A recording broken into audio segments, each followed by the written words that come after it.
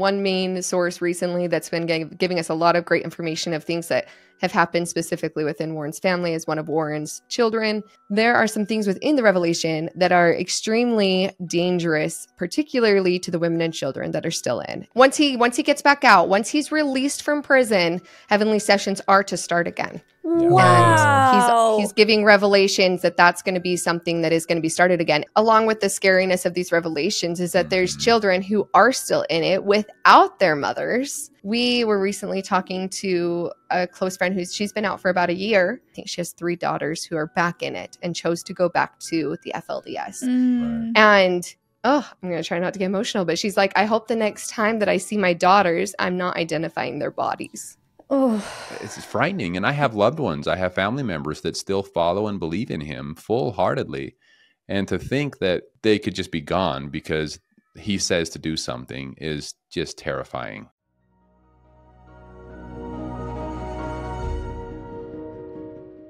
Hey, my name is Shelise Ann Sola. And I'm Jonathan Rosales. And this is Cults to Consciousness, where we discuss leaving high demand religions or organizations and finding healing and independence through awareness and true individual sovereignty.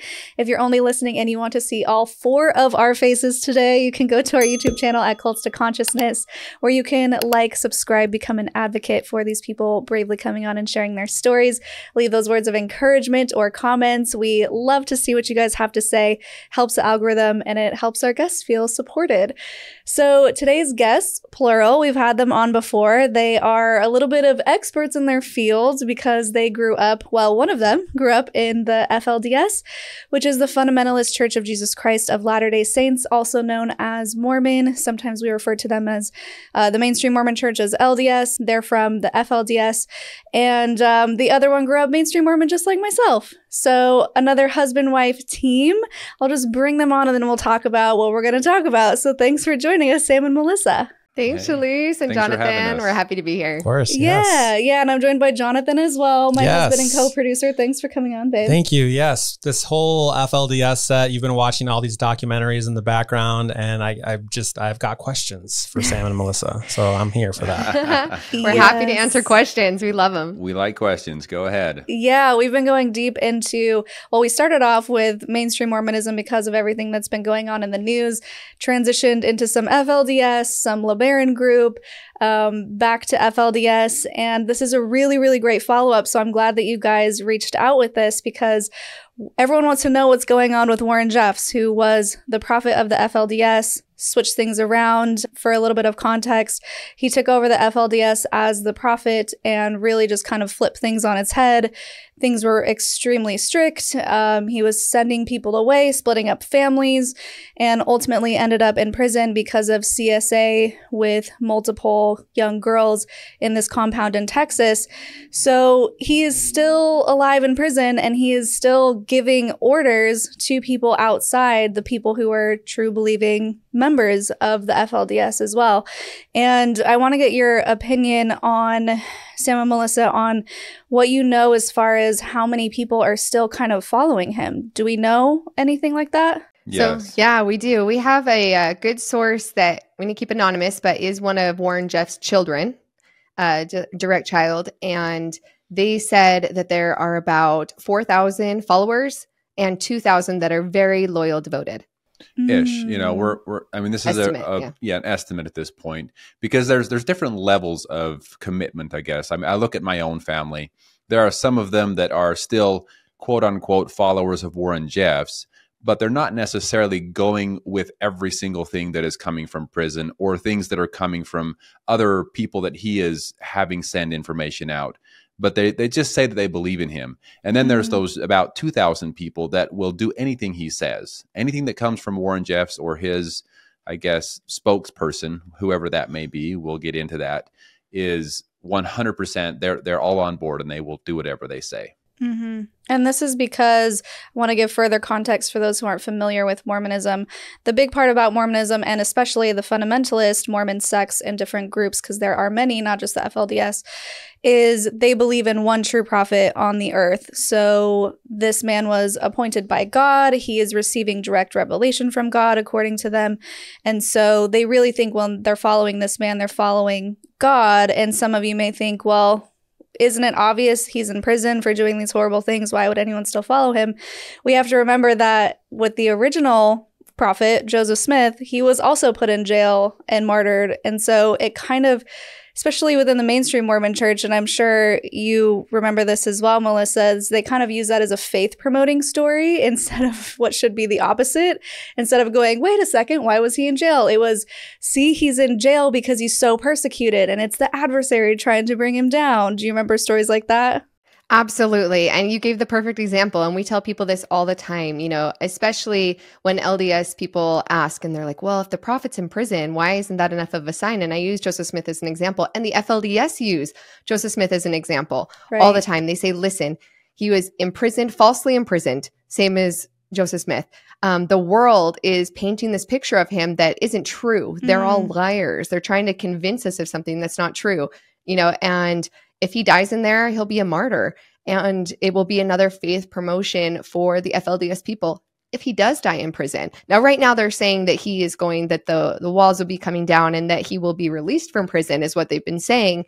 But in the case that that doesn't happen, which we know it's not going to, then mm-hmm. it will be just one more sign that he is the true prophet of God because the devil fights harder Satan is going to fight harder against true righteousness. You know, if he was a false prophet, then why would Satan be trying so hard to persecute him? Yeah, there's there's a word that they like to use and I remember this as a young boy growing up out there and it's fabricate. And we use that a lot whenever we would hear from an outside source. We weren't allowed to have TV, so we didn't get to watch TV and see what was going on in the news. But when we heard from an outside source, hey, we heard that one of your leaders did this, that, and the other, and we would immediately go to, oh, no, it's just been fabricated. Satan and his followers are fabricating this information to make these people look bad.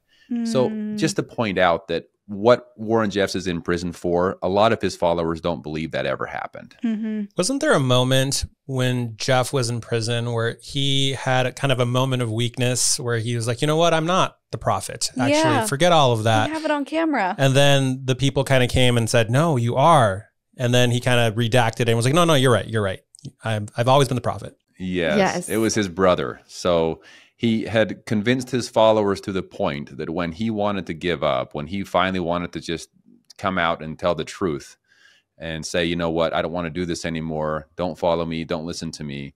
His followers were so convinced that of what he had said that they wouldn't let him get away with it that easily. They said, no, you are the prophet and we love you and you need to continue doing this and you need to continue having the strength to do what God wants you to do. That was the the mindset behind it. And I would dare say that that's another comparison to Joseph Smith because there was a time that Joseph Smith um, had a revelation that they were supposed to. He sent missionaries to go and and sell the um, trademark to the Book of Mormon, mm-hmm. or and you know, and he was sent to a they sent his missionaries to a specific city, and this is where it's supposed to be. And when that didn't work out, and they came back, he said, "Well, this just proves that."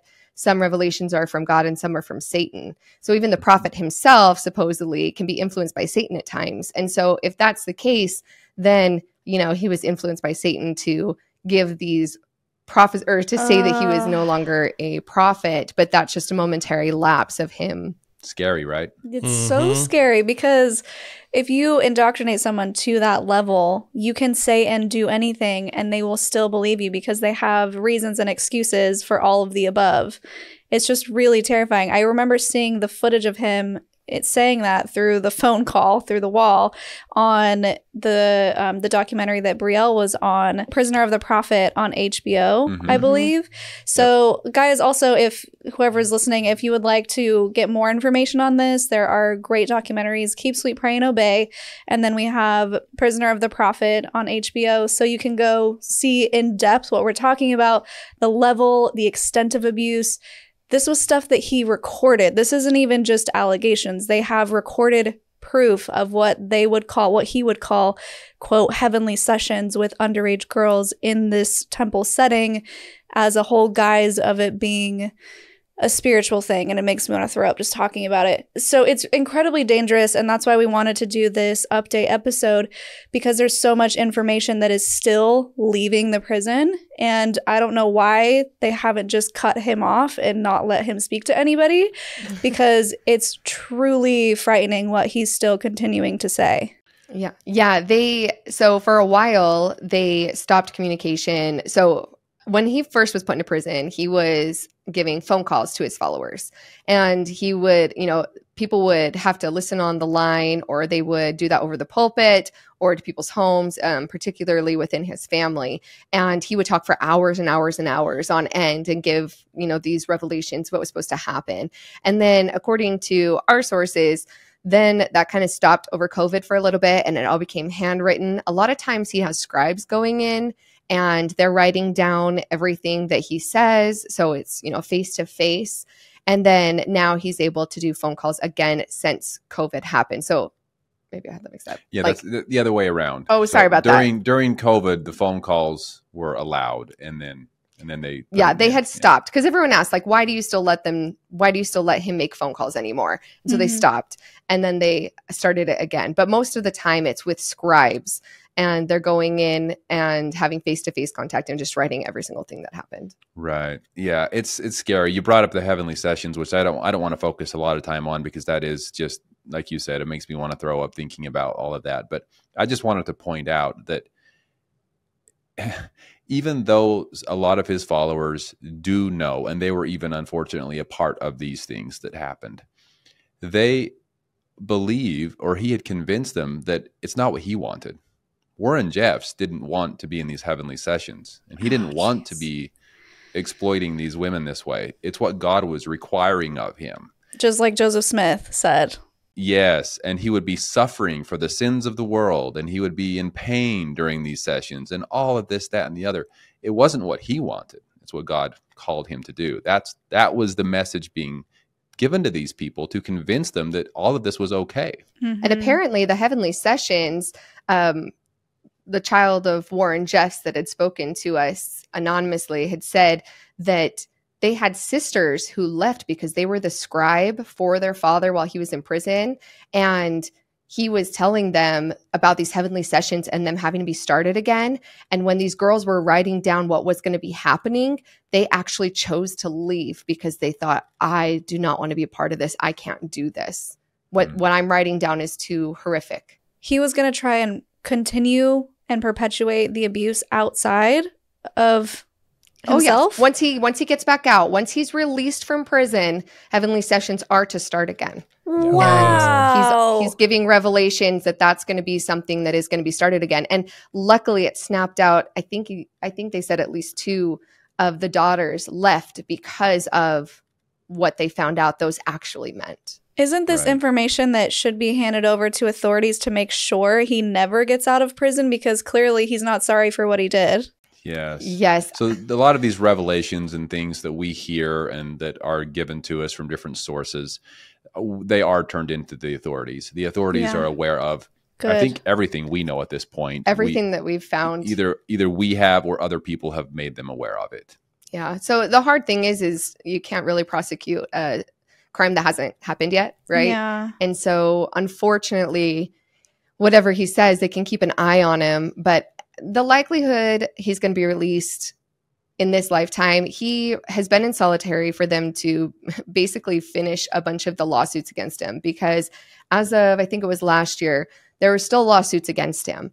And so they're kind of keeping him there. And then from everything we hear, as soon as they release him into Gen Pop and they're done with the lawsuits, they'll put him into Gen Pop and they don't expect him to last a year. Hmm because pedophiles don't last long in prison. You mean so someone from the of, inside will probably take him out? That's the idea. Or that's sorry. I, I don't. Ha- I have no plans here. That's what I'm hearing. that's what we hear. That, that, that, I'm hearing that kind of thing happens. That's all I'm saying. oh, so funny. One of the one of the visuals that really stuck with me in keep sweet pray obey was uh, I think one of the episodes started with the little group of followers that were still outside of his prison cell do you know with your insider information, is that still a thing? Are people still outside daily or the wives, you mean? Is his that wives? was it the wives? Some of his wives, yeah. As far as we know, I haven't heard of anybody being outside. Most of his family is now on compounds in North Dakota, according to our source our sources. So mm-hmm. a lot of his more recent revelations, um, some that he released in August of 2022, July and August, and then as well as August of 2023 have been talking about gathering up because the end of times is near. It's in in 2022 is five and a half years. So it's like about four years away. Mm-hmm. Um, and so they're recreating Zion and bringing everyone together to be prepared for the lifting up of his people. So, from what we understand, all of his direct family or immediate family and most of his wives are all in compounds preparing for the second coming. Yeah. Mm. That doesn't mean mm. all of them are there. We just know a lot of them are. Mm-hmm. Yeah. I think out of all of the wives, we were told that only about 15 have left. And he had, how many wives was it? he had 79 at one point. Jeez. And only 15 have left. Ooh. Yeah. There's still a lot of women that are, or, or ex current wives, I guess, whatever, that are waiting for him and still believing in him. That's just a mm. lot of people. Briell, who we had on just uh, the last couple episodes, she was the 65th wife. So even after mm-hmm. her, he had more wives. Wow, 79. Yeah. yeah. We yeah. love Briell. She's wonderful. Yeah. yeah. Insider information. Yeah, this that's uh that sounds exciting. How long have you guys had an insider in in the works? Well, I'd say there's not just even just one person, but on our YouTube channel, a lot of people that are leaving um, we here come to our channel because they know that we don't just bash on the people. We're not saying that these people are horrible people. Mm-hmm. We know that the mm-hmm. people are good people trying to do their best, trying to follow who they believe is a prophet. And it's the leaders who are corrupt and doing all these awful things. And most of the time, the people are just living the best lives they can. And right. so we try to be a soft landing for people that are leaving and people that do leave and watch us and feel that comfort tend to reach out to us. And mm. a lot of them, when they're first leaving, they're still getting sent the revelations as if they are true believers. And then they'll message them to us and send them or text them or whatever and let us know what's going on so that we can reveal it in a way that's um, right kind, I guess. Yeah, we have a few different people, which we're very thankful for, that will share information with us. Some of them are still kind of in it you know they mm-hmm. haven't fully moved away from it and so they're they're hearing information and helping us out in that way so it's been it's been very helpful to have these different sources but i would say the majority of them are people that have recently left and they're willing mm-hmm. to share information yeah some of That's them great. not even willing to come out publicly and talk so they're left anonymous we're not really going to share their name yeah sure. just for their safety and uh, so, anyway, but it's very helpful to get that information from someone so recently in it. Yeah. And a lot of them are still processing, right? Like it's a huge process. And so they're leaving, they're looking for people who maybe have more information, but are presenting it in a way that isn't bashing. And so, um, when they have a chance to be able to kind of get things off their chest in an anonymous way, and a lot of them tend to call us and say, I want you guys to know what's going on. I want the world to know what's going on. And then when I'm ready with my story, then I'll come to you. Mm-hmm. mm-hmm. So we just try to be supportive of wherever they are. Yeah, it's really great that they have you guys out there in the public eye and people know that there are places they can turn. And also, you guys and Holding Out Help are great resources yeah. for those who are looking. And I also just wanted to bring up the sources and not name names, of course, but to let people know on the outside or someone who may be watching, maybe a true believer, that these sources are reliable and we're not just making stuff up. Right. yeah, absolutely. Um, yeah, the definitely reliable. Uh, like you said, one main source recently that's been getting, giving us a lot of great information of things that have happened specifically within Warren's family is one of Warren's children.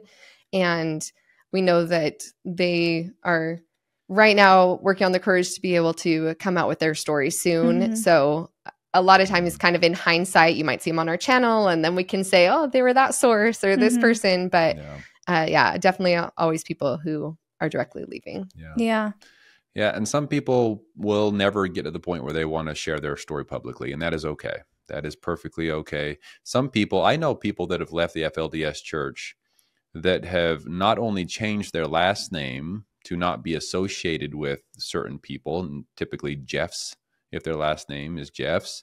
They just they don't want the attention. They don't want to always be known as the person that was related to Warren yeah. Jeffs. Because ultimately, unfortunately, because Warren Jeffs is now so public and almost the entire world knows of him because everything that he has done and now he's in prison for uh, people just don't want to be associated with that. And so, mm-hmm. you know, sometimes there are sources that will never be known. Or yeah. the, or even just association with the name when they weren't even related. Like we know a girl personally that she was groomed to be one of Warren Jeffs' wives from the time she was born. Right. And they actually legally gave her the last name Jeffs, even though that's not her family Oh, last name gross. because she was intended for him. And so she changed her name and, you know, obviously being liberated from that idea that she was meant for him, she needed to be able to take back that power and say, no, I'm not intended for him. I'm my own person. Just so sad. Yeah, and it's so powerful to change last name. I did it, so I know. I didn't want my last name anymore. I was like, no, I want something that is empowering to me and doesn't make me think of my trauma every time I see my last name, so I can 100% know what that's like. And that's why I kept my last name even when we got married, and my husband was very gracious about That's it. right. Good for you guys. Oh, Thank Yeah. you. Yeah, it's namesakes are so interesting. You know, they're they're you could even go the other way with it. We had the uh, the LeBaron sisters on, and they were all about we're going to keep our names and we're going to reinvent what it means to be a LeBaron. Yeah, so they change the they narrative. for them it was empowering to do something new with it. Yeah. Interesting. Yeah, it's awesome to see everybody has their own way of processing, and each way can be beautiful and important. Right. And whatever that person needs is what they deserve to have happen. Right. Yeah, Mhm. exactly. So I want to get into these these revelations, but first I just you made me think of something when you said that the world pretty much knows who he is. I can imagine from what I've seen in the videos that I've seen, he's pretty narcissistic and all about me and power and fame and all of that. Do you know if he knows how infamous he is and how people hate him? Do you think he likes that people know who he is? Hmm. That's a tough one. It's I think that he definitely wanted the attention. I think that from a younger age he liked attention and he liked to be the person that made the decisions and kind of have power over others in very cruel ways in some cases. But I don't know I don't well I was going to say I don't know that his intention was to become popular except for the fact that once he became popular, it seemed like he liked it Hmm. because when even in prison, he would write these revelations. And funny story. So after I left, I left the FLDS church. Not too long after that, I actually joined the main LDS church, Mhm. the mainstream LDS church. And then shortly after that, I was on a mission in Chile. And while I was in Chile on a mission, at one of the mainstream LDS church chapels, a letter was received in Chile. And it was a revelation from Warren Jeffs that he wrote while in his prison cell. And so he was sending these revelations worldwide, trying to tell people that they need to change their ways and come to God's truth or they would be destroyed.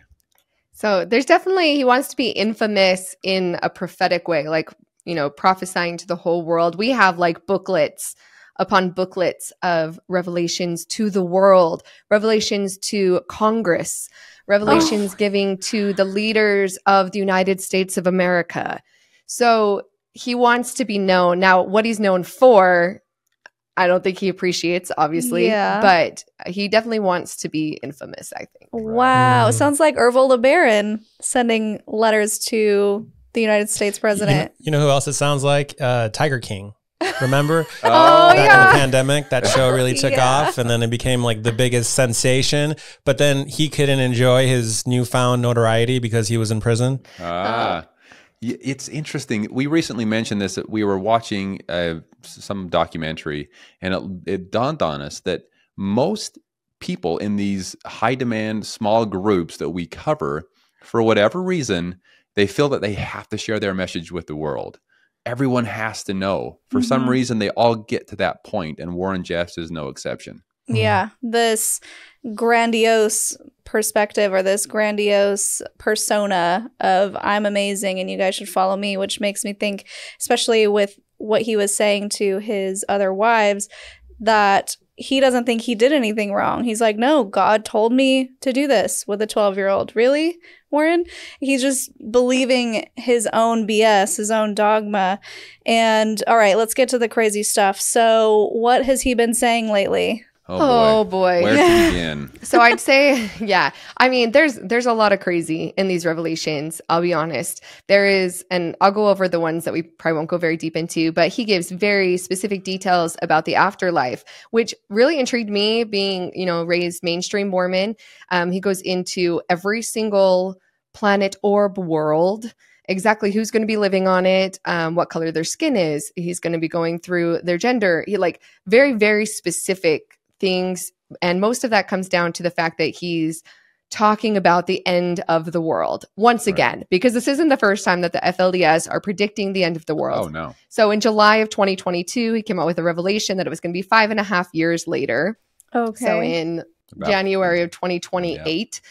it's going to be at the end of the world, and that the celestial orb where Jesus is living on the sun and Kolob? it's going to be coming in the there's going to be groups lifted up and they're going to be translated and exactly how that's going to happen and where and it's like i said a lot of crazy but most of it comes down to prophesying about the end of the world and that that's going to be happening in the beginning of 2028 right. It's the detail. You know raised in or the the mainstream lds church afterlife information a lot of people that weren't raised in it as you can probably based on other people you've talked to you've probably seen that people from the outside looking at the mainstream lds afterlife they're like whoa this is insane. I've never heard of such a thing. But warren jeffs takes it to a whole other level. He i mean the the men and women will be separated in the next life if they aren't perfect and if they aren't living with God then they can't live together. So they have their own planets here and there. And and it's just completely it's so confusing. We did a video on it but uh, it's it's a long story. I wonder if these, because you, you, see a lot of the same overlap in the storytelling with like Scientology, for example, with the planets or with um, the Jehovah's Witness, the end of times are near, the rapture. Uh, I wonder if, if within all these tales, from these prophets if they if there's the overlap if they're all the same or if they're different different takes on the same thing is the mm-hmm. jehovah's witness end of times also in 2028 or is that a different end of times? Oh i think they have their own math. Yeah. Well and in one of in one of these revelations warren talks about that the calendars are not correct because christ's date of birth is different. And so he tries to correct the calendar in one of them. Yeah. and that's why it's going to be in 2028 because calendars were off. And so there's like a celestial calendar versus the calendar we have.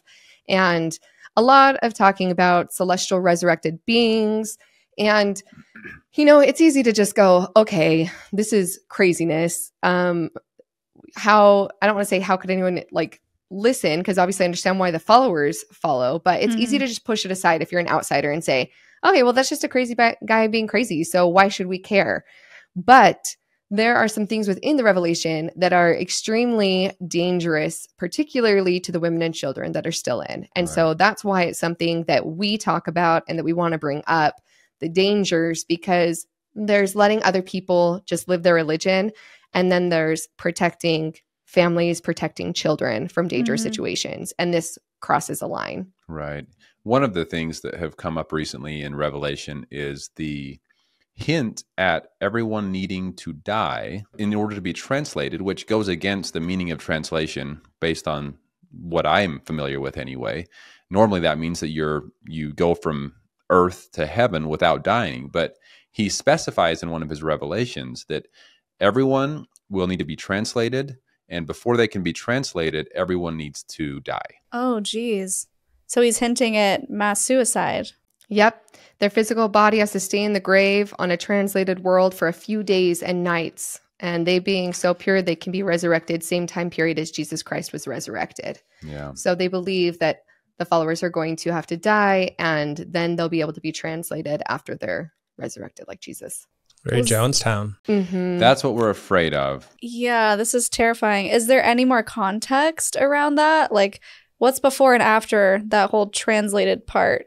So, before the translated part, and I'm just kind of reviewing the the revelations here, but it's talking about the fact that the select the celestial resurrected center portion of all New Jerusalem Zion. So Zion's going to be created. There's going to be multiple cities around it. And then there's going to be a lifting up of that New Jerusalem. And that's where everyone is going to need to be. There's going to be a translated planet. And in order for that to happen, the people that are in that New Jerusalem will need to be translated. Which, again, when we were reading through the Revelation for the first time, translation typically means, okay, sweet, like City of Enoch. You know, the City of Enoch, here they are, and they're just lifted up. Now they're in heaven. And that's the typical understanding of it, like biblic- biblically.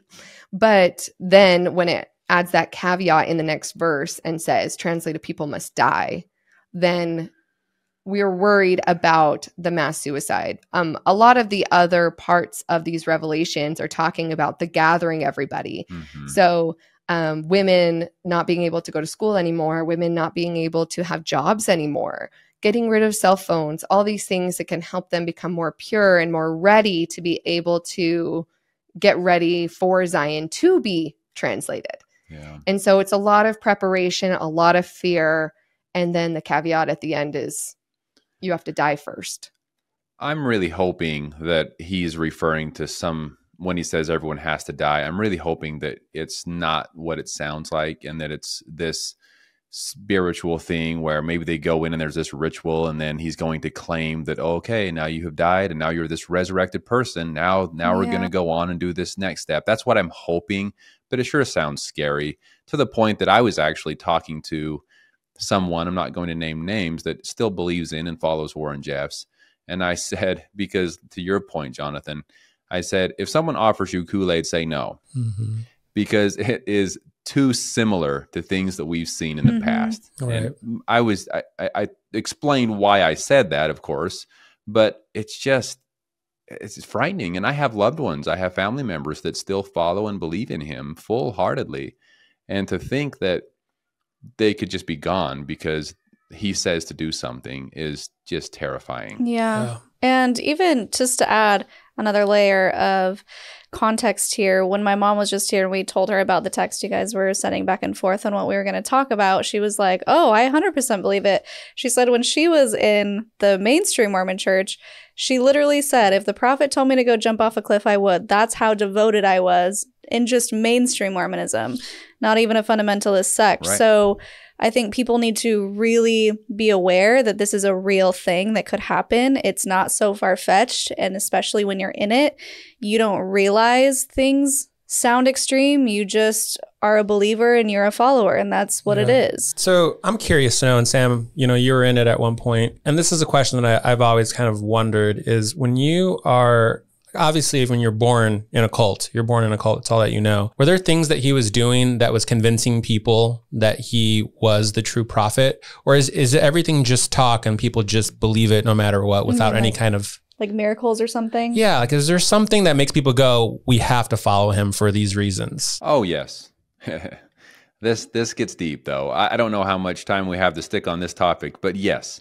Let's just say I experienced things that to this day I cannot explain. Like what? Wait, now, give us an example. For example, healings. Uh, you know, things you hear about, I experienced those. And this was not in the mainstream LDS church. This was in the FLDS church where I was healed on the spot and stood up and walked away. I, I had to be carried to the location that I received the blessing and stood up and walked away feeling perfectly fine the moment it was done. Whoa. So, now, yeah, how, how would you explain that in now, hindsight now? Okay. So, uh, people hate it when I talk about this because they don't they don't like this topic because it hits too close to home for so many people that believe mm-hmm. in religion, just religion in general and and so I try to be as respectful as possible. Sure. I it's it's it's tough to explain unless you look at it as in my mind I was so convinced. I knew I had all the faith in the world. I knew that the moment those words were said, I was going to be fine. I had I was a thousand percent convinced of it. Mm. I had no reason not to be. It's the way I was raised. I was still a fairly young boy at this time. And so the moment those words were said, I said, Done. I know I'm good. And I stood up and I walked out. And whether it was my mind that convinced me of it or whether it was some higher power, that's going to have to be left to someone else sure. to decide but I just know that I experienced it in what everyone, almost everyone in this world, will look at as a very harmful and dangerous cult. Yeah. So you're saying it could potentially be the placebo effect, or could be something right. else, or a and, higher power. And you, and many people experience things like this within the the cult? I, yes, many people did. Another thing that I will just point out is when you believe in something so strongly, it it does funny things. Funny things happen. For example, my sister, one of my older sisters, married Warren's father. He was about 80 years old at the time. She was an, an, a young teenager. They, well, she was an, an, adult. I think she was 19. Still teenager, but though. still a teenager. And I believe she was his about 60th wife at the time. Now, this isn't Warren. This is Rulon Jeffs. This is Warren's father. And because of that marriage, we had this connection with the family and we would go and visit them sometimes. And I remember walking into the Jeffs home and Warren Jeffs was there.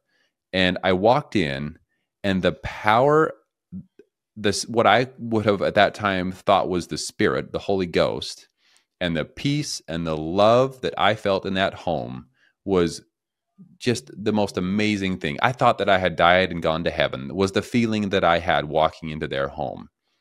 Keep in mind, this was during the same time that we know what Warren Jeffs was doing behind closed doors in that home. Mm-hmm. But right. those are the feelings I felt because that's what I believed.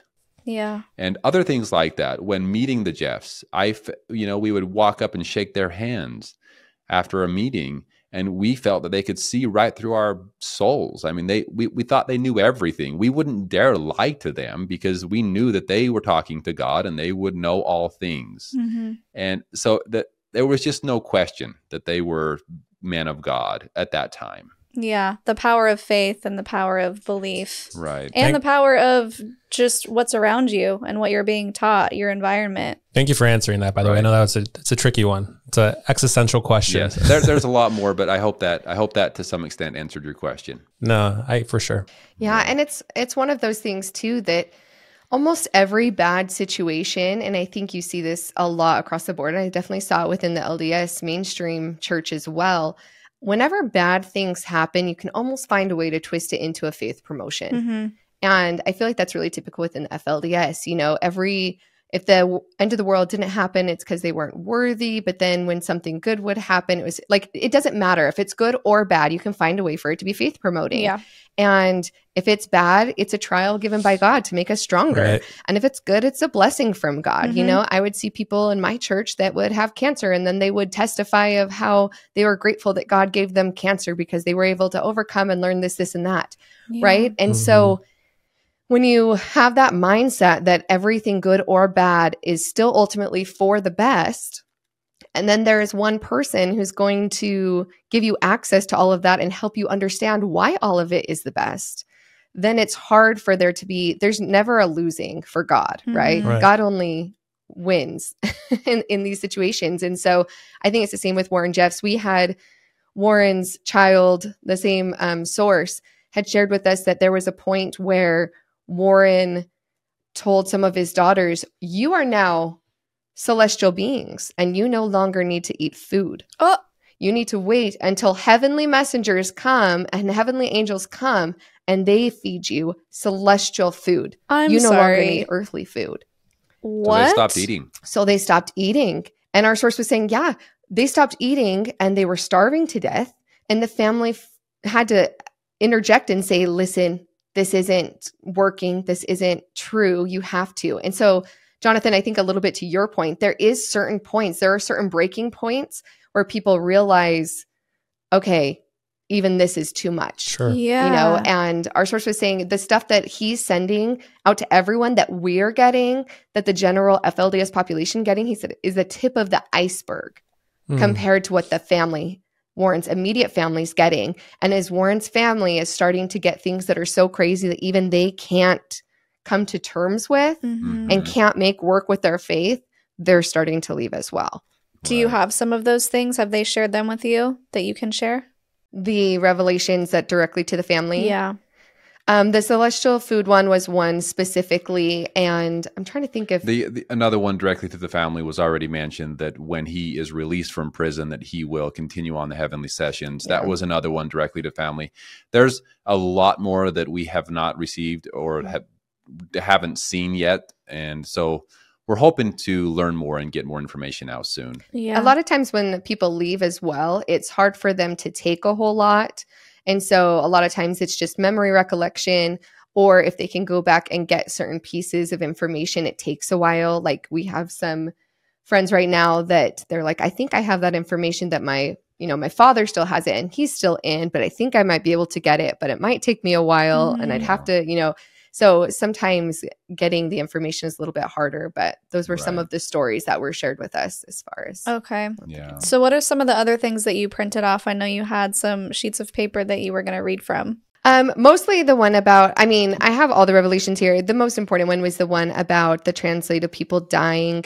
Um, again, I think probably the I mean, we touched on a lot of it. And I try to not read too much directly because I don't like spreading his exact words. yeah. He, While still sharing the, way the gist he talks, The way he talks is, even for me, being raised out there, it's hard to understand the way he he tries to talk in a way that makes it sound like it's coming from a celestial being and not a human. Hmm. Okay. And so he he likes to use words and say things in a way that us mortal people will not really understand. We're like, "Wait, what is that?" Because he speaks in a special way. Yeah, mostly about the translated worlds and I think I think that's also I think he talks this way to sound more like a prophet. Yeah. Right. Because when people are raised with the King James Version of the Bible, it's almost this like badge of honor if you can understand it, right? Like, oh, I read the King James Version of the Bible and I'm understanding and comprehending. And then we know that even the Doctrine and Covenants from Joseph Smith, it all has that same sound to it. And so he continues that on, goes to another level. Um, I don't know if we have quite the amount of time to go through some of the talking about the different heavens and how that's all going to work. I will say quickly, though, that when he talks about these no glory worlds and these planets, I always wondered, being raised LDS, how families wouldn't be together forever. Yeah. Because I feel like the LDS church always emphasizes, you know, families can be together forever. We sing it, we talk about it, we preach it all the time. And I was probably 18 when that was one of like the first questions I ever had within the church was like, well, if you're Mormon and you're together forever, what happens to the people who aren't sealed? Mm-hmm. How do they get separated? Like, how does God decide that these families, like, how are you, you in this corner of the room, you in this corner of the room? Like, how does that look like? I don't know. It was always a curiosity for me. Yeah. Mm-hmm. And Warren Jeffs was talking about the fact that each planet is like a planet of women and a planet of men in oh. the no oh. glory worlds. So in the terrestrial and the telestial, and well, we'll go into outer darkness where Sam gets to go later. But out of the celestial kingdom and the terrestrial, he talks about the no glory and that there's going to be two. There's going to be one for men, one for women. And then there's going to be, and then he separates races as well into different planets, and one for the men and one for the women. And then the telestial, one for the men, one for the women. And then outer darkness is an interesting one he talks about specifically in here because as an apostate right. you know if you if you know the truth and then you leave the truth or deny the holy ghost as some would say yeah. then you are be, you become a son of perdition mm. and hmm. you are no longer allowed to have any glory and you are just in outer darkness suffering for the rest of eternity. And we'll see you there. But Apostates unite. yeah, we, we'll both see you there. exactly. According to Warren Jeffs, though, Shelise here and Melissa, we will not be seeing you there. I'll be seeing you there, Jonathan. Okay. So I'll bring the, the flashlight. You bring the batteries. Perfect. you that's, got that, it. That's a joke, Shelise. Yeah, I will. Don't take credit for that one. the females, this is how sexist it is. Wait. Yeah. Okay, can we the read girls? this part? I would love to just hear okay. the way he Let's writes because Let's find it. Okay. I have to say before I read this, Shelise, this is the part that like makes my blood boil though, is that the women we get turned into nothingness. Wow. Right. we're not we're not we're worthy not even worthy of outer of darkness. Going to outer darkness. we're not worthy of outer darkness. If you are an apostate woman, then and that's what they're told. And I was talking to my, some of my sister-in-laws recently about this, and they said that was so much more terrifying. The fact that we become nothing like at least everyone else has something. Yeah. you know we're told that the terrestrial and the telestial worlds there's still happiness there there's still something and they're like but, but was, to have nothing. it was almost a way of saying that the the men need to suffer forever yeah, because say, yeah. because they have responsibility for their actions. But the women you know yeah whatever. You're just going to go into nothing because you don't deserve to suffer forever but you chose a wrong path. So it was almost meant to be like a positive thing for the women. Right. You're not going to have to suffer for all eternity. But a lot of people that lived in the FLDS and now have moved out had said that this disappearing into nothing seemed a lot scarier to them. Yeah. Yes. And I'm trying to skip the racist stuff. Hang on. It's like a backhanded I punishment. mean, you don't, you don't have to. I'm all for okay. just hearing everything this crazy person it's, has to say. It's well, I just like to clarify racist. because I think it's very racist, and sometimes I just hate even saying it because it is so racist. But I will just read it as it is from his revelation, so people can get an idea too. Because I think sometimes people are like, "Oh, you know, are they really racist?" Like, and I'm like, "This is from their prophet." Yeah, but thus there are five no glory worlds for the murderers now, earlier in the Revelation, he talks about everybody's a murderer, basically. If you live outside of the FLDS, everyone's murderers for a couple reasons. One, if you use birth control in any form, say. you're a murderer. Mm-hmm. Two, they believe in what they call the killing of unborn babies, which all of us are thinking maybe they're talking about an abortion thing here. No. If you have any type of sexual intercourse while you're pregnant, that's considered the murdering of unborn babies. Mm. Right. Yeah. In so, fact, just to just to expand on this slightly, I received, or me and multiple of my brothers received a letter from my mother, which is she's still in the FLDS. This was a while back, and that was something she said: "Is please make sure you're not being killing unborn babies, killing unborn babies, and I was like, "Wait, what? We were shocked. Why and would she even consider? What is she thinking we're we doing out be, here? Yeah, and and I knew that I knew based on the fact that I was raised in that too that they believe most people on the outside are wicked people, but I didn't think that they would assume that. So it was later that we understood. Oh, they mean you know all of these different ways uh, can be considered killing the unborn. Yeah, I had to ask sister-in-laws because I was like I assume they would mean the same thing for masturbation for men. Yes. Yep. Got it. Anything that could be used for Spilling the making the of a baby. The baby batter. Yep. yep. So just want to clarify. So there are five no glory worlds for the murderers, two for the Caucasian type Gentile peoples, one for men, one for women, two for the Negro peoples, one for men, one for women, totaling four no glory worlds.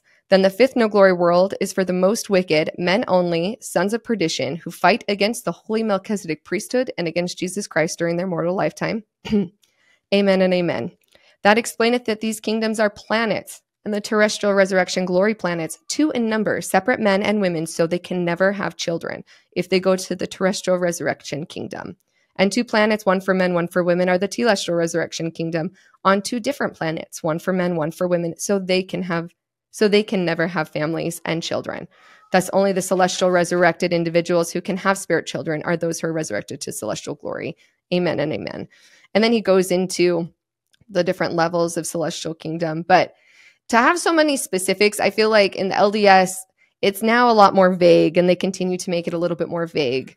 And so I was kind of shocked that he was gutsy enough to try to even say such oh. specific oh, things about everything. Yeah, they've always in the FLDS, they've always been very straightforward. They haven't tried to change the doctrine, change the belief at all. You know, the mainstream LDS church has done a lot to change the way things are said so mm-hmm. that it mm-hmm. doesn't sound racist or it doesn't sound sexist. But the FLDS is they they stick to it. The things that Brigham Young said, they are all on board with that. Everything he taught and they're not Jeez. trying to change anything. And then Warren Jeffs here we see adds even more to that belief instead of taking yeah. away. Yeah, and then you only get to be a no glory resurrected person for 1 year. I'll read this real quick and then we can move on. But it said, Those who are resurrected as murderers on a no glory world, five planets of the no glory world herein named, after they are resurrected, they will only exist in their resurrection conditions, not shining with sunlight, in a misery of the buffetings of the devil. They will only be miserable being resurrected. And in mercy, God had authority send them into dissolution. Those on the no glory resurrection worlds, both spirit and no glory resurrected physical body. They will lose their no glory resurrected body even less than one year after they are resurrected giving the promise that all born on a mortal planet as mortal individuals will be resurrected, yet not remain alive because Yeesh. murderers commit the greatest crime the greatest crime sin including abortion murder of unborn children a common sin crime in this most wicked generation that has ever been on this world So, so you'll get one year. Hopefully, we get one year of resurrection. Hopefully, he's referring to the the heavenly clock, right? Isn't isn't one day a thousand years right. to the Lord? Yeah. So I forgot about that. One year is a long time. yeah, he is actually kind of going in line with mainstream Mormon stuff, though. Because do you remember hearing about the TK smoothie? Because it was in the in the doctrine that you wouldn't have genitals if you weren't in the celestial kingdom. So he's like, yeah, if you don't have genitals, you can't make a family. Let's just separate the men and the women. Yeah. yeah. No, and that's what, like I said, I almost, I don't want to say I got some answers to my LDS questions through Warren Jeff, but, but I was like, at least, but kind of some of these, I was like, well, that would make sense. And the LDS doesn't want to talk about it. They just want everybody to be sealed. Everyone's going to end up with an eternal family because why would you not choose to be yeah. Mormon in this life or the next? You know, right. that's kind of the mentality behind it. And so in this, I'm like, that's more of a reality of how can you keep people from being able to be happy and be together? Well, if you separate men and women and they can't have families and they can't be together, I guess that would be the way to do it. You know, the interesting thing here is Warren Jeffs has already done to his followers what he is claiming is going to happen here in that he has right. separated wife and husband and wife. He has separated families. He is not allowing people to get married. He's not allowing people to have children. And so he's already kind of done what he's talking about will happen in the next life to his followers here. Mm-hmm. Yeah. And, and I, I've often wondered why. My theory has always been that he isn't allowed to have a relationship in his prison. So he doesn't want his followers to have that either. Yeah. But maybe there's maybe in his mind there's a greater reason for that. I don't know. Yeah. I don't know. But the separation of families is that it's what's getting along with the scariness of these revelations is that there's mm-hmm. children who are still in it without their mothers. And we were recently talking to a close friend who's she's been out for about a year and she still has children in it. And she fought to get her children out. And then as they turned 18 each child so far i think she has three daughters who are back in it and chose to go back to the flds mm. and oh, I'm going to try not to get emotional, but she's like, I hope the next time that I see my daughters, I'm not identifying their bodies. Oh, you know, and it's yeah. heartbreaking to see a mother not know whether or not their children are going to be safe. You would hope, you know, all these mothers, most of the time when they leave, they think their kids are safe. And I just can't imagine being in that situation. It is so heartbreaking and heart wrenching to see these women fight for their kids and then because of the way that they taught their children the children are going back. And even beyond them going back a lot of them are currently having their children being taken from them mm. and being kidnapped. And we kind of also wanted to talk a little bit about that mm-hmm. because there are currently still eight children that are missing that were stolen from their mothers. That we know of. That we know of. Yeah. Um, and that's another thing that we try to raise awareness about as much as possible. And we can share those pictures with you, Shelise, if you'd be willing to yeah. show your followers. So if anybody sees them, they can contact local authorities. But um, I think I heard Cece might have had to try to get her children back, right? Like mm-hmm. it's a mm-hmm. big legal process to be able to get your children back.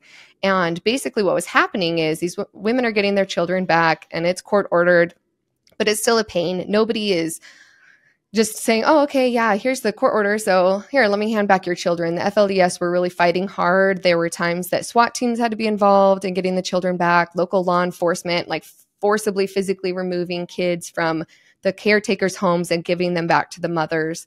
And so the FLDS church got smarter and they said, you know what? Instead of having to deal with all this, we are going to have these kids look like runaways when they're not. So the kids are running away when they're in the custody of the fathers, but because they're not at the father's home, the father just says, the kid ran away. They didn't want to go back to their mother's house.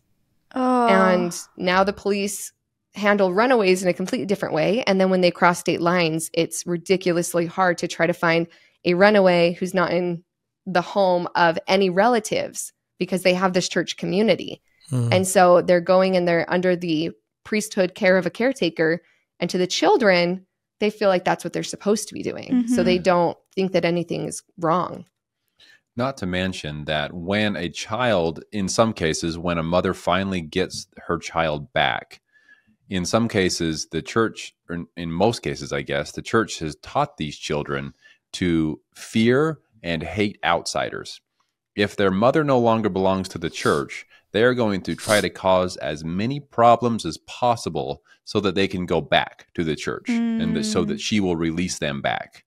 And so it's very it's a very tricky situation. It's not just one of those where if we find the child and we get them back, then all will be well after yeah. that.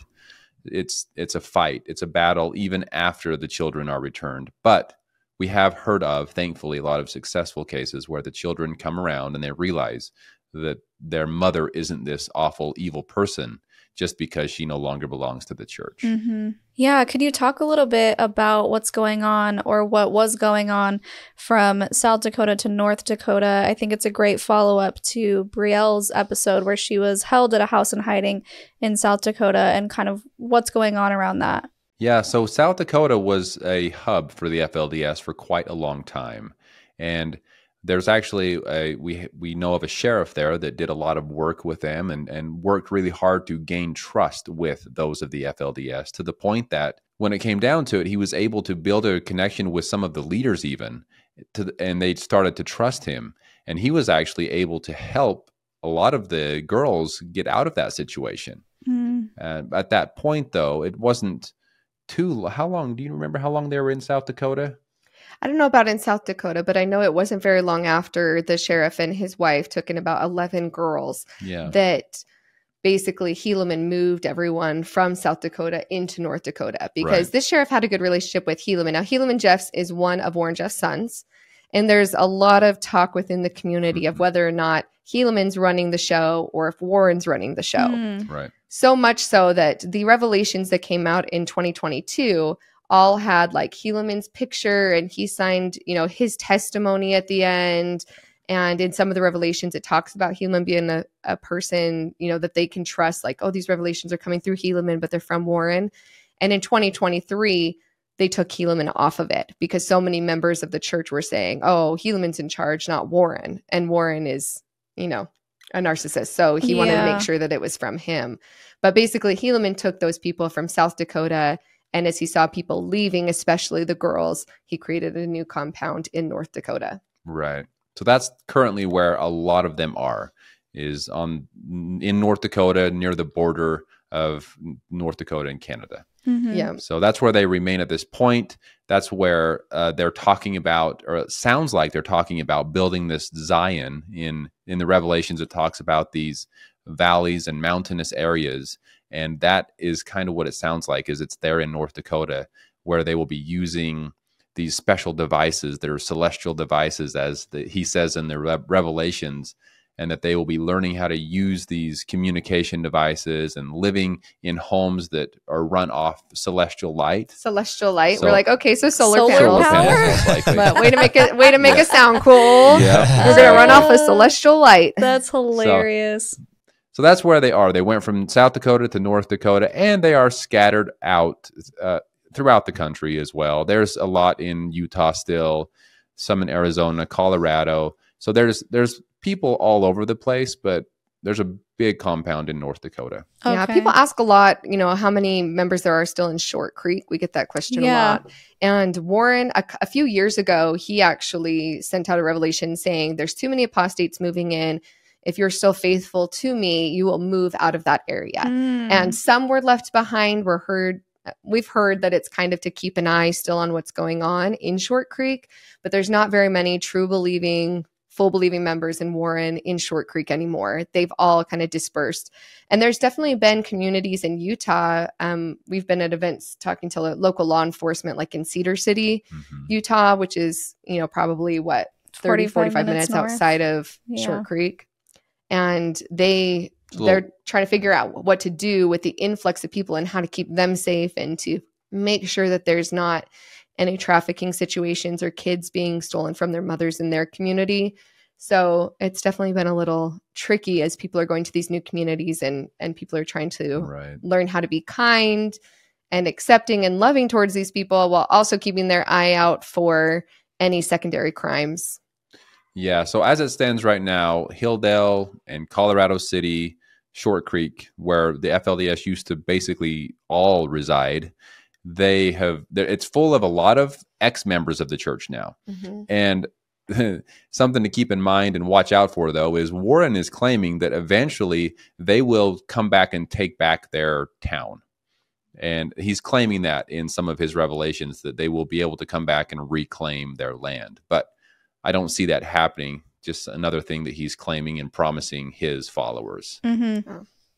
Yeah, because the government took over the trust that all of the land and the homes were under, right? Correct. Yeah. Yes. Yeah, the UEP now belongs like through the state of Utah. Right. And then they yes. were dispersing those to F- ex FLDS members. So we were talking to Briell about how she was awarded one of Warren's homes, the 45 bedroom home, which you said you have a tour on your page about it. Yes. We have a tour on our page. Yeah, we've been through there a couple times now. The people there are amazing. Um, and their directors there currently are wonderful. So it's now the Short Creek Dream Center. And so um, Briell graciously donated it to the Dream Center. And yeah, 45 rooms. And there's the people there are allowed to stay as long as they need, which is amazing because a lot of other places, it's just hard. If people don't understand the situation of the FLES or where the FLDS people are coming from, they're not going to be able to help them adequately. Mm-hmm you know um, and so it's really great to see they have a whole women's and children's floor a whole men's floor lots of big family rooms and yeah and though it's, it's owned by the the dream center they a lot of the people working there including Briell are people that are from the flds yeah. so there's this place for people to go where they will be understood very well and it was actually Briell that gave us the tour of the Dream mm, Center. So yeah. it was kind of cool to see it from her side, from someone that actually lived there during the time that Warren Jeffs was uh, in charge. Yeah. Or I guess he still is in charge, but when he was there. yeah, that's amazing. I'm so glad that they have that resource. What an incredible way. I was telling Briell, I was like, what a big F you to Warren to take his house and turn it into a sanctuary for members who don't want to follow him anymore. Yeah. It's so good. Yeah, it's interesting yeah. because a lot of people will say like, "Oh, is that triggering?" or like, "Is that hard?" And um, I don't know yeah. if you talked to Briell about this, but you know, it's I it's kind of bittersweet. And from the other people that we've talked to there, that we've um, formed really close friendships with some of the people that are there, and you know, they say, "Yeah, it is." There's the the fu side of it of you know we're taking this back, and then there's still like this somberness of what had happened and them still even being in the community at all and then the directors have shared that sometimes people come in and there'll be something new that's triggering that they didn't realize was a trigger. Yeah. You know, so they yeah. just took down the pray and obey off the chimney a few yeah. weeks ago. And that was a mm-hmm. huge thing that they said, yeah, some people would see that. And it was just super triggering to still see on the fireplace, pray and obey. Right. And so they took that off. Um, I know they shared with us that there was a hook in one of Warren Jeffs' inspection rooms and there was a young girl who came in and and she was like the hook is still there and so they quickly tore that off wow. the wall so right. they're constantly trying to make it a place where it's not too triggering and so that it can yeah. be more of like an empowerment um, type area for these people yeah and over time they are slowly but surely remodeling different rooms and areas to make it uh, a better place i guess and less triggering for some people yeah i think they've done most of it except for warren's room yeah. which is super creepy warren's room super creepy it's the exact same metaphor as the, the the dichotomy of the keeping the namesake. You keep it, it's a little triggering, or you reinvent it. Right. Yeah, exactly. Right. So, was there anything else that we'd missed that you think is really important to share about the current events around Warren? I would just say one thing that we try to share as much as possible is a lot of people ask, what can they do? Mm-hmm. You know, mm-hmm. especially if someone who's FLDS moves into your community and people go, I don't know what to do. They don't really want to talk to me. They don't really want to associate with me. Um, how, I don't know, just a little bit of like hopelessness of how do you help people that are in this situation? And through everybody that we've talked to, the biggest help that people can be is to just be super kind to them mm-hmm. and understand that they probably aren't going to be kind back at first. And you have to accept that that's how it's going to be and be okay with that but to just continue to be kind because there's going to be a point for most of these people, hopefully, most people, that they're going to realize okay, all these people aren't evil. They mm-hmm. can be kind, they can be generous, they can be good people outside of the world that we're living in. And that's all, almost always where the seed of somebody leaving starts with somebody on the outside that was kind to them. Yeah. Yeah. For me, you know, based on my personal experience, when I left, really what gave me the courage to move out ultimately. There were things that I didn't really agree with, you know, as far as the rules and different things. But what gave me the courage to move out when I did was the kindness of people outside of the FLDS. And I think mm-hmm. that is a very common story that everyone feels and hears because we are taught, or at least most people are taught within the FLDS, that the outside world is dangerous, full of people that are being controlled by Satan, trying to take down his church and his work, or sorry, trying to take down God's work and his church. And so they're afraid of the outside world. And when yeah. you meet someone from the outside world that shows you kindness and that is a happy person and seems to be on in a really good place in life, it makes you start to question and wonder, you know, oh, is this true? Or is the outside world not as bad as they make it seem?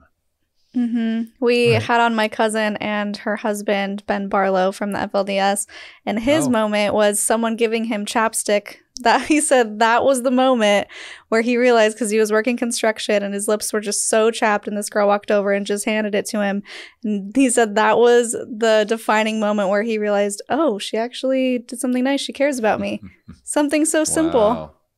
Wow. Yeah. Interesting. And that's, I feel like there's a lot of stories like that. Like we, know a family where the kids were taken away and the parents were sent away and their kids were basically starving and the neighbor was offering them hot, hot chocolate on a day that they were out shoveling snow and they're like and that neighbor will never know that that was mm. like the only oh. bit of sustenance they were going to get for that day was hot chocolate and some candy you know and so things oh like gosh, that that don't seem like a big up. deal i know i'm like ah but yeah, things like that. It can be the simplest, tiniest things. It might not even feel like a big deal to you, but it can make a world of difference. Right. I think yeah. one of the worst things to do would be going up to them and asking if if they're from the FLDS. Are you from the FLDS? A question like that might just kind of scare them away and oh oh these guys are trying to interrogate me. You know, that might be the mindset because they are a lot of them are really afraid of the outside world.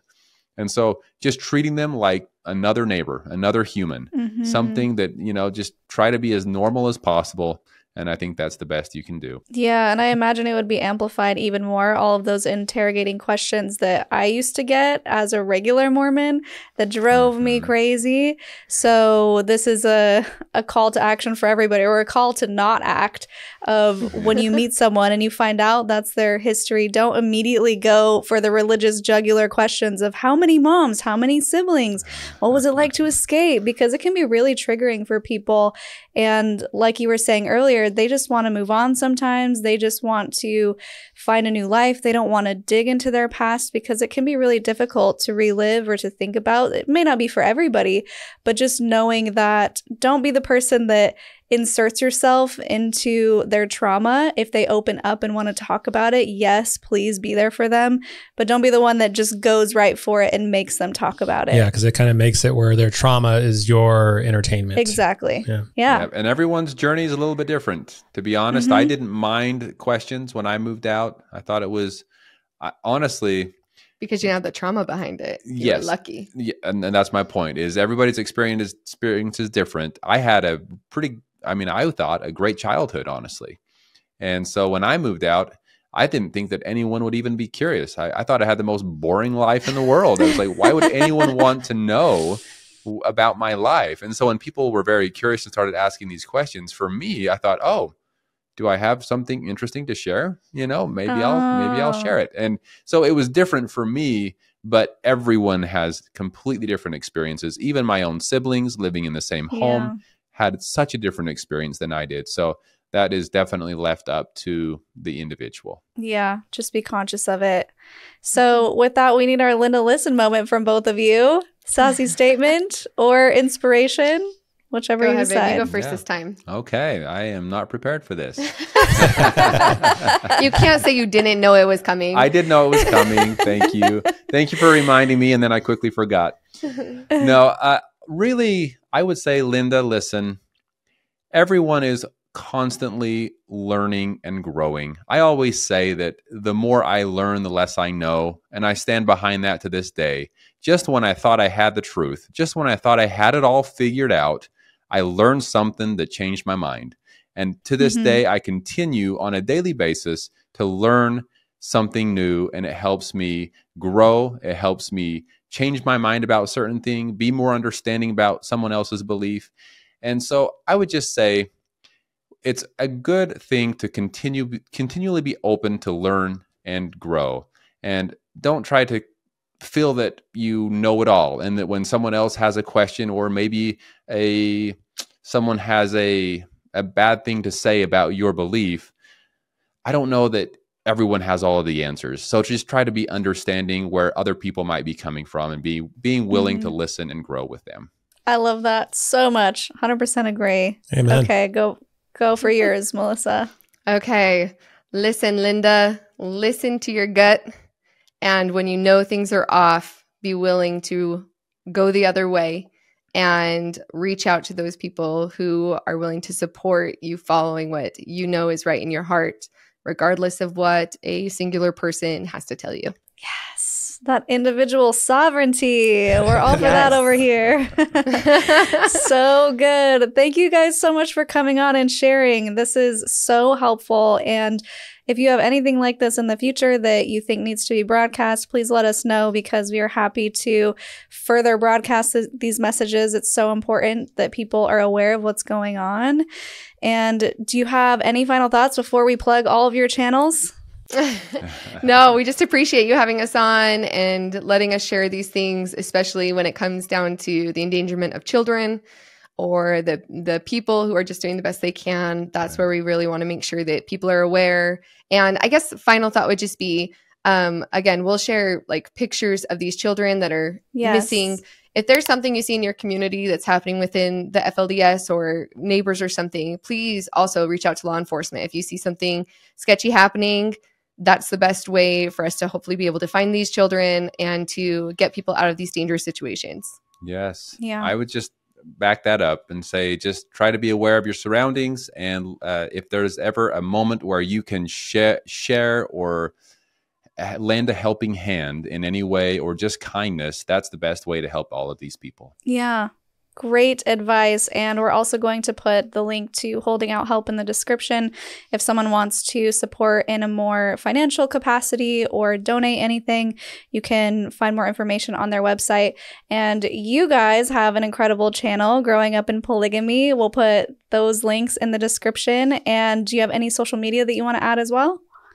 Instagram's growing up in polygamy as well. So yes, and we are on all the podcasts. And this is a true collaboration. C2C is going to be on Sam and Melissa's channel, Growing Up in Polygamy. So yeah. after you're done watching this video, go watch that video. It's going to be linked in the description. Thank you. Yes, Perfect. we're so excited for that as well. Looking forward to it. To finally hear more of your story. Yeah, I mean, I feel the same way as you sometimes. I'm like, is it that interesting? But sure, I will I would love to come on your channel. I'm honored. So, guys, thank you so much for watching. Leave those comments, words of encouragement down below if you want to support the podcast even further. Liking and sharing again is extremely helpful. Um, you can get some of our merch at cultstoconsciousness.com under the merch tab. We have some Apostates Unite t shirts and some other fun things over there.